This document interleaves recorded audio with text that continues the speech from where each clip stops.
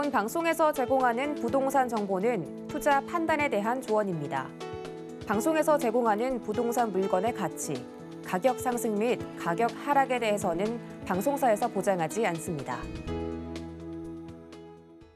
네, 경기도 고양시 지- 덕양구 소재한 지축동입니다. 이곳 같은 경우에는 지금 3호선이죠. 서울 3호선으로 구파발 다음 한 정거장으로 맞닿아 있는 지역입니다. 그래서 세우- 서울에 대한 어떤 접근성과 생활권을 함께 공유하고 있는 그런 지역이고요. 이곳 같은 경우에는 이제 택지 개발 지구로서 어, 택지리 완료된 지역과 완료 중인 지역은 아니죠. 그래서 원흥과 삼성 같은 경우에는 완료가 돼 있기 때문에 이미 이제 입주가 시작이 되어 있고 가격이 많이 이제 올랐습니다. 그렇지만 지축지구 같은 경우에는 어, 은평 뉴타운 개발과 더불어서 지금 한참 핫한 그런 지역일 수밖에 없고요. 또한 이제 그 북한산과 그리고 창릉천이죠. 또한 이제 서오릉과 가까이 있기 때문에 어떤 녹지에 대한 조망권도 함께 갖고 있는 그런 곳입니다. 어, GTX A 노선 현재 공사 중이고요. 그리고 신분당선 추진은 이제 윤석열 어떤 당선인께서의 공약이죠. 그래서 세 개가 만약에 맞물릴 경우에는 triple 역세권으로서 충분히 가능한 그런 지역이고요. 또한 이제 통일로와 수도권 순환도로 그리고 또한 서울 문산 고속도로가 함께 있죠. 그리고 또한 여기에 이제 원흥 강매 구간과 화정 신사 구간이 연결 예정에 있는 그런 지역입니다.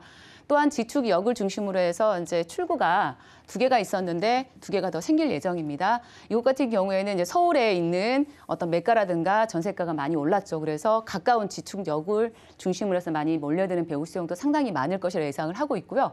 또한 이제 삼성이라든가 원흥 같은 경우는 이미 이제 발전이 됐고 인프라가 구성이 돼 있죠. 그렇지만 지축 같은 경우에는 함께 인프라를 공유할 수 있는 그런 항유할 수 있는 그런 주거 환경이 쾌적한 그런 곳이라고 말씀을 드립니다. 또한 이제 GTX A 노선이 이제 공사 중인데요. 이곳 같은 경우에는 파주 운정에서부터 동탄을 잇는 그런 노선이죠. 그리고 서울에 어, 일산에서 서울까지는 이제 14분대로 단축이고요. 또한 삼성까지는 20분대로 단축 예정에 있기 때문에 어, 만약에 이제 개통이 된다 그러면은 출퇴근 교통난이 상당히 해소될 것 같고요. 교통 인프라가 상당히 확충이 될 거라고 예상을 하고 있죠. 또한 이제 신분당선 서북부 연장입니다. 이곳 같은 경우에는 어, 강남역까지 이어지는 황금 노선이죠. 그렇지만 앞으로는 이제 삼송까지죠. 삼송까지 연결 예정에 있다는 거 말씀드리고요.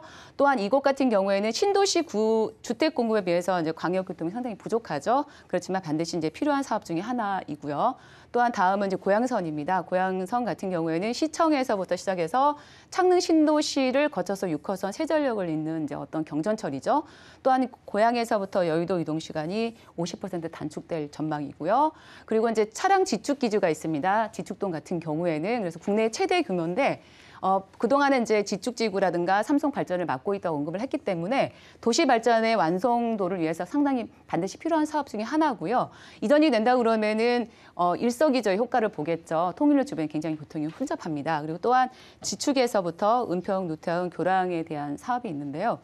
어, 은평을 직접 연결해주는 다리가 있죠. 그리고 이제 마포에서 상암 DMC까지 한 번에 갈 수 있는 그런 곳입니다. 또한 이제 현재는 여기가 지축이고 그리고 여기는 은평 뉴타운입니다.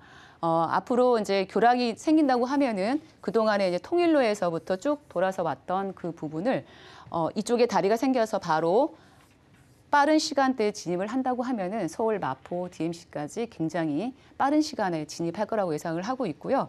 어, 발전에 그러니까 삼성지구 마포에서도 바로 이제 오게 되는 그런 사업인 거죠.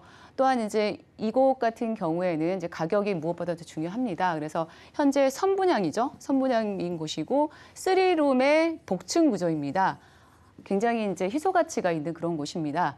어, 많지가 않습니다. 그렇지만 이제 매매 금액은 3억 2,800만 원서부터 3억 8,200만 원까지 예상을 하고 있고요. 전세를 놓았을 경우에는 3억 원에서부터 3억 5천만 원 정도 예상을 하고 있기 때문에 실투자 금액 같은 경우에는 2,800만 원에서부터 3,200만 원까지 가능한 그런 지역이 되겠고요.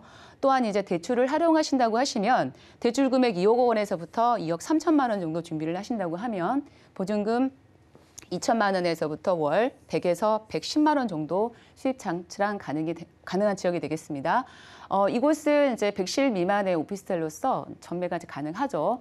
그렇지만 이제 무제한 전매 가능에 따른 투자에 대한 환급성이 상당히 높은 곳입니다. 그리고 임차 수요도 상당히 풍부한 그런 곳으로서 또한 이제 그 1, 2인 가구들도 굉장히 충분하게 여유가 쓸 수 있고 거기다가 3인 가구까지까지 여유롭게 쓸 수 있는 그런 공간으로서 말씀드리면서 정리하도록 하겠습니다. 네, 고양시 덕양구 지축동 시세까지 확인을 해봤습니다. 자, 지금 뭐 이 지하철 연장에 힘입어서 서울 외곽 지역들이 상당히 들썩들썩하고 있는데 고양시 덕양구 지축동도 지금 현재 이런 지하철 연장에 수혜를 받을 것으로 예상되는 곳 중 대표적인 지역 중 하나죠. 원래도 서울과의 이 인접성이 상당히 좋았는데 이렇게 교통 인프라 확충으로 서울 중심의 이 업무지구로의 이동 편의성 향 상이 크게 기대되고 있습니다. 그런 면에서 계속해서 인구 유입이 좀 있지 않을까 이런 전망도 해볼 수 있을 것 같은데 자 그런 면에서 여러분도 함께 주목해 보시면 좋을 것 같습니다. 자 이사님이 지금 고양시 덕양구 지축동 시세까지 짚어주셨는데 이사님 이 지역 좀 투자 전략 다시 한번 정리해 주시죠. 아, 네, 이곳 같은 경우에 이제 투자 전략을 말씀드리면요. 가장 이제 많이 필요해서 필요하는 그런 부분들이죠. 교통에 대한 부분과 그리고 생활 환경이죠. 그리고 풍부한 배우 수요까지 갖춘 그런 곳입니다. 교통환경으로서는 서북부로서의 어떤 사통 팔탈이 통하는 어떤 지축 지구가 중심이 될 거라고 예상을 하고 있고요. 또한 이제 서울 권역과 상당히 이제 가까운 어떤 최상의 입지를 갖고 있는 그런 곳이죠.